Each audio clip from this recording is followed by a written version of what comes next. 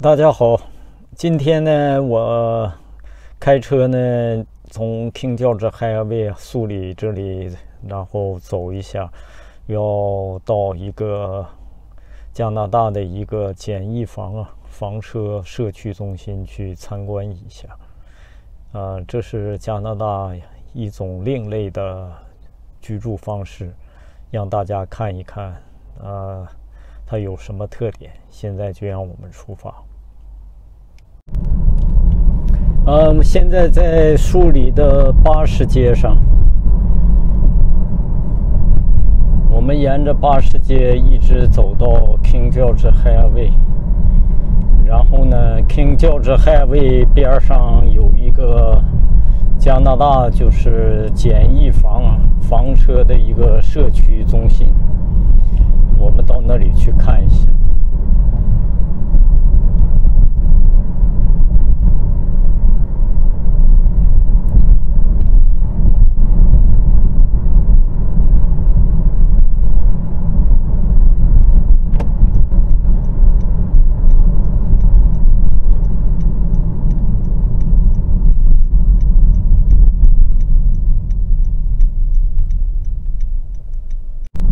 我们现在就来到了 King George Highway 上，然后向前走呢，在右手边有一个简易房房车的一个中心呢，它那里有很多的一些就是房车，还有那种活动房的那种呃中心，啊叫 Camping Plaza，我们现在到这里来看一下。Thank you。好，大家就看一下，这就是它这种小房子。这种房子呢，就怎么来说呢？加拿大因为住房比较困难呢，很多人呢选择这样一种居住方式，就买这种呃定制的这种小房子，然后选择一个这种呃。叫做房车，还有简易房这个社区中心，然后把这个小房子就放在这里头。放这里头呢，他呢每个月你得交钱呢，得交好几百块钱，也不便宜啊。就是你这个场地费。呃，虽然你这房子很便宜，房子可能几万块钱，但是你这个。交的那个房租啊，就是居住这个地啊，就很贵的，好几百块钱。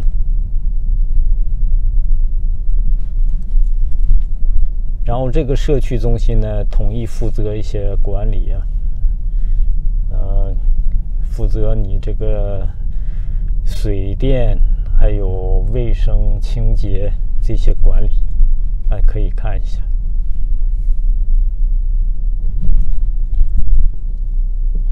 这是，这也是一种生活方式，嗯。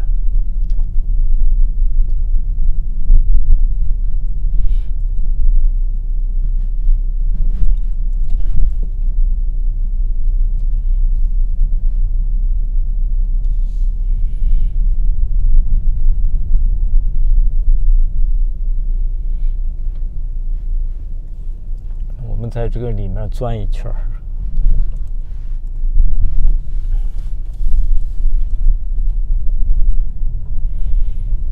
一般来说，这种呃房车中心呢，建的都是在风景比较好的地上。看这边上有一些大树林。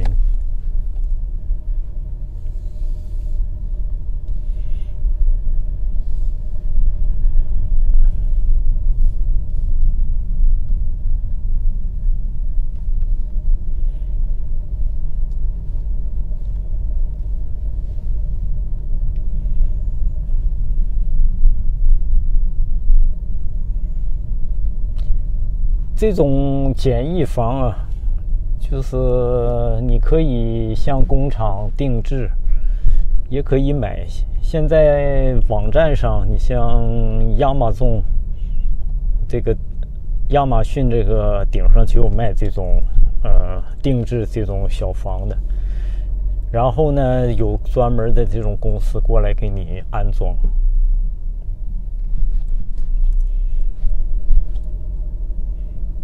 大家可以看一下啊，这面还有一些空的场地，空的场地就是有一些人，你来房车旅行了。你看这有的买的房车，然后有的人就在房车里居住。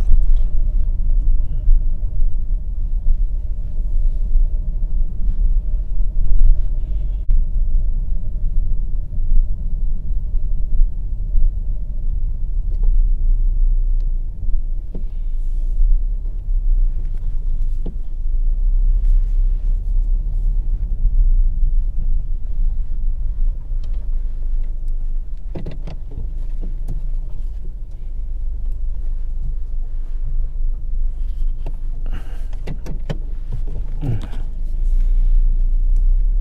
大家可以看一下啊，很有特色的这个。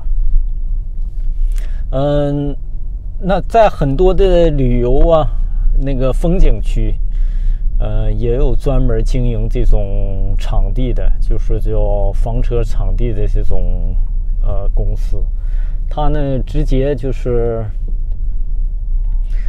呃整理块一片空地，然后呢。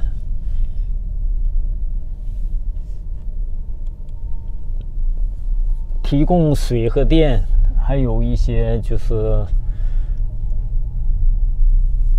生活设施，然后他就向外出租。然后旅游的这些有一些人呢，他可以直接的，你就到时候开着房车，然后就来进行旅游，住在这个地上。很多人选择这样的一种旅游方式。好，这个房车场地我们就大概看了一下，现在转到平交市海岸卫生。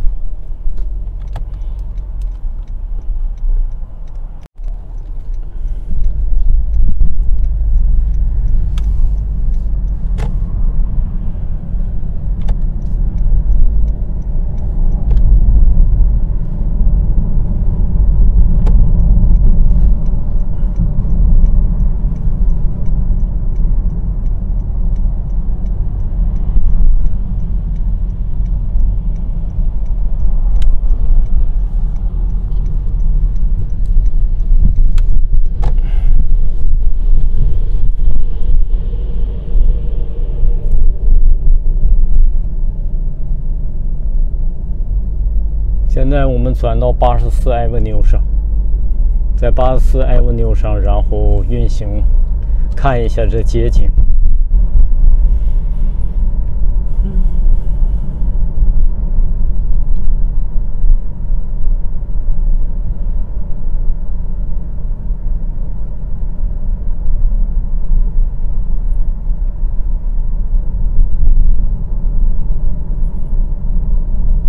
这很多的这种小房子，非常漂亮，独立房。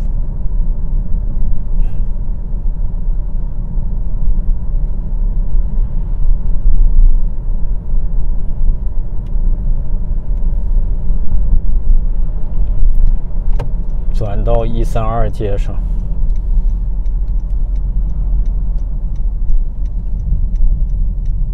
呃，大家好。呃，现在我已经领着大家，呃，参观了一下加拿大这个简易房，他们又叫房车中心，这个社区中心，啊，参观了一下。大家可以看到很多这种呃定制的这种啊 tiny house 简易房，呃，给大家然后介绍了一下加拿大这种另类的居住方式。啊，这个视频就拍到这里。希望大家喜欢，我们下次再见，拜拜。